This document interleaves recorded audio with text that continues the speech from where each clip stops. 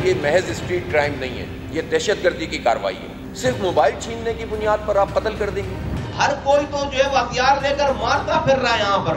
आप खुदा के वास्ते हर कराची के रहने वाले को हथियार रखने की इजाज़त दे दे।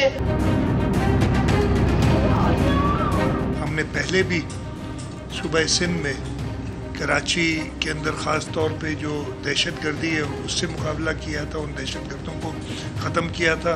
और इन ताला ये जो ताज़ा बदमनी की एक लहर दोबारा है उस पर कम पाएगी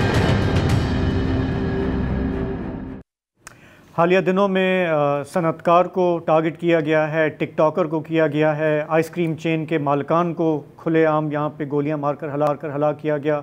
कराची में सिंध हुकूमत का कहना है कि हमने पहले भी अमन अमान बहाल किया है अब भी करके दिखाएँगे लेकिन इस सिलसिले में वो क्या कर रहे हैं किसी को कुछ पता नहीं है। नहीं।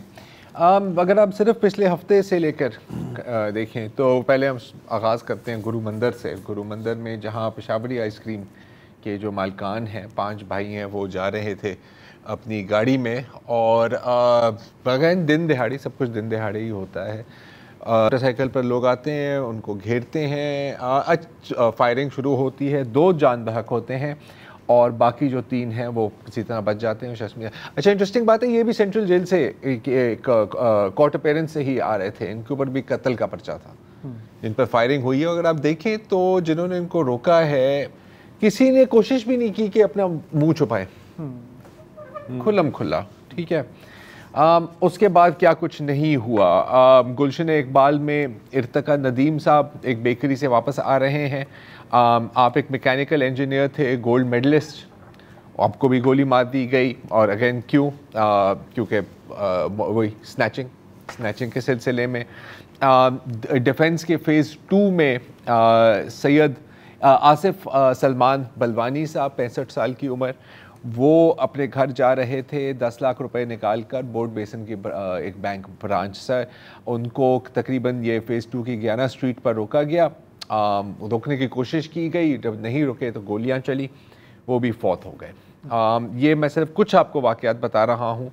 फिर आ, जमान टाउन में कुरंगी की तरफ़ बीस साल की उम्र के अब्दुल बासित साहब अगेन नासिर जंप के पास आए उनके मोबाइल छीनने की कोशिश की और गोली मार दी और ये जूतों का कारोबार करते थे हम्म। पुराने यूज़ शूज़ का कारोबार करते थे तो आप देख सकते हैं कि हर तबके का हम्म।